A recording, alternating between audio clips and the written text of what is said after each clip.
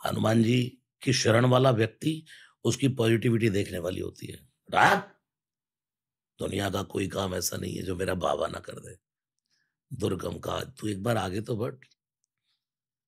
क्योंकि आप देखो, आज दुनिया में जितने राम जी के मंदिर नहीं, इतने हनुमान जी के मंदिर हैं। और एक बार हनुमान जी का नाम आ जाए तो कोई भी हो सनातन धर्म का, उसकी फिर कोई नेगेटिव वर्ड नहीं आ सकता हनुमान जी के लिए। मौन हो जाता है फिर वो। जय हनुमान। परम पावर है से ऊपर कुछ नहीं है। परम साधु, अमर, अजर, अमर गुण निधि सुत हो, करहु बहुत रघुनायक छो सीता जी ने कितने आशीर्वाद दिए हनुमान जी को? अजर, तू बूढ़ा नहीं होगा। आज के किसी यंग व्यक्ति को कहते जा, तू यार बूढ़ा ही नहीं होगा। ऐसे ही जवान बना रहेगा, वो तो खुश हो जाएगा। लेकिन हनुमान जी खुश ही नहीं हुए। फिर माँ ने कहा अच्छा मैंने इसको ऐसा वरदान दे दिया, इसको बोला तू बूढ़ा नहीं होगा, तब भी खुश नहीं होता है। फिर माँ ने कहा अच्छा चल, अजर, अमर, तू अमर हो गया। हनुमान जी मनी मन सोच रहे हैं शंकर के रूप में पहले ही अमर हूँ मैं।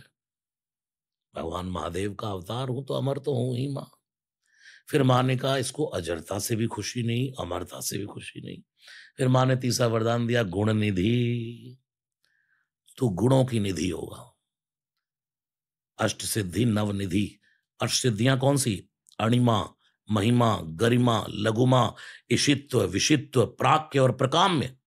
ये आठ की आठ सिद्धियाँ जिसके भीतर बसी हो, और शंकर के कैलाश पर तो झाड़ू लगाती है। अणिमादिक सिद्धियाँ। और भगवान महादेव के अवतार हैं, और हनुमान जी इसके राखा नहीं है। अष्ट सिद्धि नवनिधि के दाता है। जो अपने पास है, दूसरे को बांटते चलो। देते चलो देते चलो देते चलो फिर इतना मिलेगा।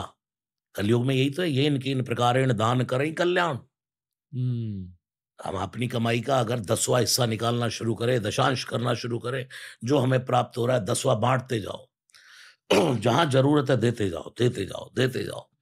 फिर आपको नहीं कुछ करना। फिर तो वो आपको कैसे देता है चाहे कहीं से भी उठा के देगा थप्पड़ मार के देगा ले यार तू तू अधिकारी है इसका तू दे ले। लेकिन तेरी अंदर देने की क्षमता तो अगर वो भाव आपके अंदर होता है देने का एक भाव एक आ, अगर एक इंटेंशन होगी आपकी देने की और कोर में अगर आपकी इंटेंशन बदल जाएगी कि जो भी मेरे पास है मैं सिर्फ़ देने के लिए प्राप्त कर रहा हूँ बहुत कुछ होने लगता है ज़िंदगी में। देते रहो। पर पर ये आज के जमाने में बहुत लोगों के लिए मुश्किल होता है इंटेंशन वाइज लोग देना तो चाहते हैं। पर एकदम कोर में ना, अगर आपकी इंटेंशन है देने की, तब ज़िंदगी बदल जाती है। जिस तरह से जब मैंने पहली बार आपकी आवाज़ सुनी, मेरी पहली थॉट ये थी कि इनकी कनेक्शन है हनुमान जी के साथ, इसलिए ऐसी आवाज़ निकल के आ रही है। इसलिए मैं आपसे, मेरे खुद के कुछ सवाल पूछना चाह रहा हूँ आपके बारे में। आपका बचपन कैसा था? मतलब क्या हुआ आपके बचपन में कि इतनी ज़्यादा तगड़ी कनेक्शन बैठ गई? क्योंकि इसी सवाल के लिए मेरा जवाब यह है कि मेरे अकॉर्डिंग मेरी मम्मी ने मुझे हनुमान चालीसा के बारे में बताया था पहली बार। उनकी वजह से मैंने हर दिन पढ़ना स्टार्ट किया नौ साल, आठ साल की उम्र में।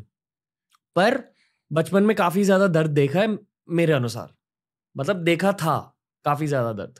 और उस दर्द को हनुमान जी छीन कर लेके चले गए।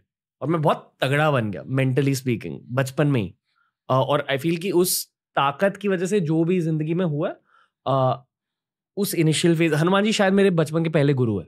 ये मैं मानता हूँ। वही सवाल मैं आपसे पूछना चाहूँगा सर कि आपके बचपन में हुआ क्या? कि इतनी ज़्यादा तगड़ी कनेक्शन बैठ गई? अभी तो और होगा आपका। पूरा भारत पूरा विश्व ये देखेगा कब आएगा पॉडकास्ट कब हनुमान जी के बारे में और आएगा। ये आपको समझाने की ज़रूरत नहीं है आपको पता है। मैंने आपके एक दो देखे थे तो आपने उसमें कहा कि मैं बचपन से हनुमान चालीसा का जाप करता हूँ। और जाप क्या? जो यह पढ़े। हनुमान चालीसा के लिए कोई ध्यान लगाने की ज़रूरत नहीं है। अभी आपने कहा अंदर भक्ति हो ना हो आप तो पढ़ो। ये तो नहीं लिखा जो यह है। क्या लिखा जो यह पढ़े। हम्म।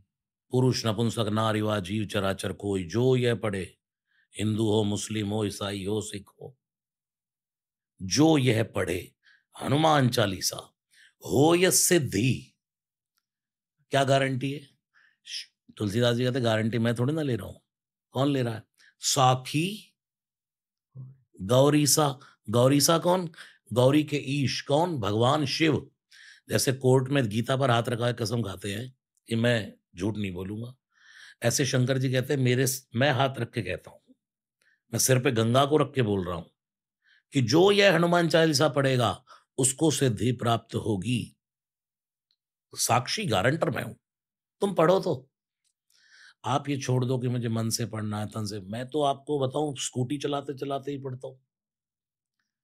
मेरा कोई घर का काम है, स्कूटी पे दौड़ लगा रहा हूँ, मैं इधर उधर कहीं जा रहा हूँ। कार में बैठते ही फ़र्स्ट नियम है हमारा सुन, हनुमान चालीसा करने का। और ये मैंने, जब मेरे पास फटीचर सी गाड़ी थी, स्टार्टिंग, तब से स्टार्ट किया। और आज श्री हनुमान जी कृपा से बढ़िया गाड़ी है, तब भी हनुमान चालीसा बैठते ही करना है। फिर हमने एक दैनिक हनुमान चालीसा शुरू किया फेसबुक पर।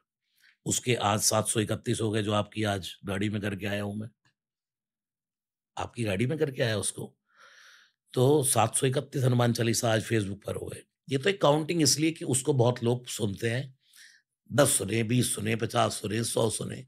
कुछ लोग ऐसे भी जो मैं बोलते महाराज जी, आपका हनुमान चालीसा लगा देते हैं और इतने मेरी आरती आरती पूजा हो जाती है। जी, ये कहना चाह रहा था।